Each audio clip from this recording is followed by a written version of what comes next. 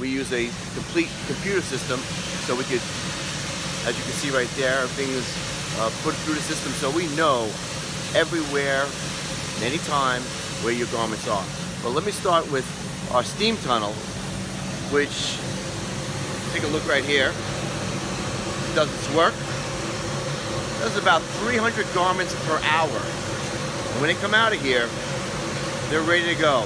About 80% of them are complete and ready. Some of them after that might need uh, some pressing, but pretty much they're, they're complete and ready to go. So as the steam tunnel does its work, we're going to move on to some parts of the other plant.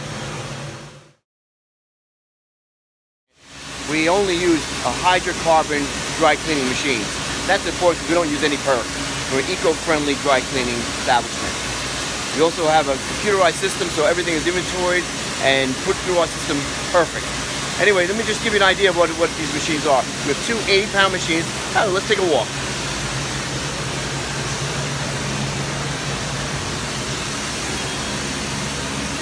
Here's the other 80 pound dry cleaning machine. We just acquired